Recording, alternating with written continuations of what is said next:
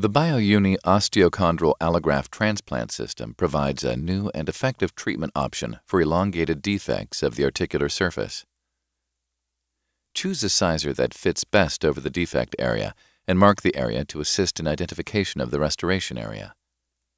The sizer is then placed on the surface of a fresh osteochondral allograft and advanced over the surface to locate and identify a flush fit. Once the harvest locations have been identified and marked, the allograft is secured in the Allograft Oats workstation. An oblong cutter and insert are acquired from the instrument tray and assembled.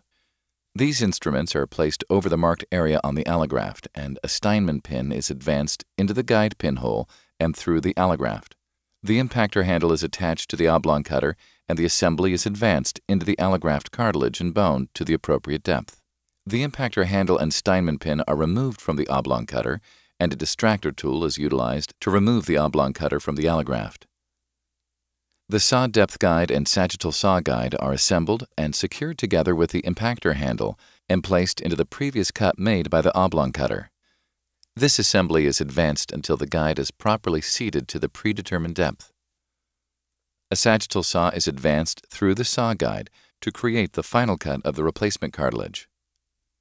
The new elliptically shaped cartilage allograft is recovered from the saw depth guide and is placed into a donor trial to confirm the size and fit. The sizer is placed over the marked defect area and two drill pins are advanced through the guide holes. The sizer is removed and a scoring device is advanced over the two drill pins and tapped into the cartilage to create a perforation.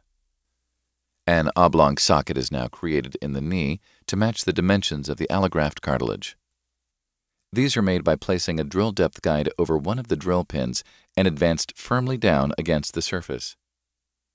The reamer is placed over the opposite drill pin and advanced until the strike plate of the reamer hits the depth stop. A box cutter is attached to the impactor handle and is advanced over the drill pins until it stops at the bottom of the newly created socket. The remaining fragments of bone can be removed with the Howarth elevator or small rongeur. The recipient socket is dilated to compact the bone and prepare it for acceptance of the replacement allograft. The dilator will also mimic the fit of the allograft cartilage in the newly created socket. A power pick can be utilized to create a bleeding bed to assist with incorporation. Demineralized bone matrix, or DBM, should be utilized to fill in any bony gaps and to stimulate new bone formation. The replacement cartilage allograft is placed into the defect and a tamp is utilized to assist with properly seating the allograft. The BioUni Oats technique can be combined with an iBalance HTO to correct for alignment issues.